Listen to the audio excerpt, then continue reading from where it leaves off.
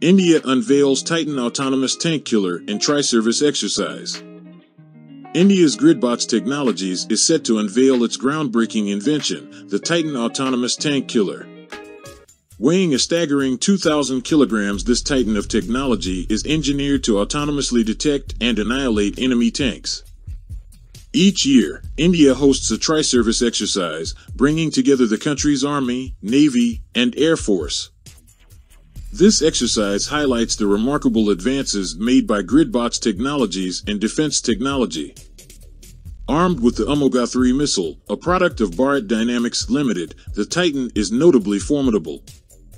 The Amogha 3 is a state-of-the-art man-portable missile, requiring minimal user intervention, making it highly effective. The Titan flaunts an impressive spec sheet, including a top speed of 20 km per hour for battlefield mobility. With a 20 kilometer mesh radio range, it can sustain fluid communication with command structures and other units. What distinguishes Titan is its adaptability. With a generous 1.5 ton payload capacity, it can be equipped to fulfill diverse roles, from inspections to surveillance and reconnaissance. India has developed several combat and intelligence robots to enhance its defense capabilities.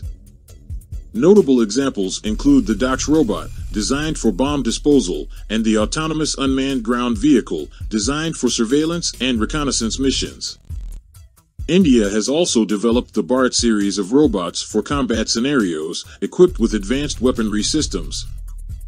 The Indian Navy has developed the Barracuda, an unmanned surface vessel primarily used for maritime surveillance and reconnaissance missions.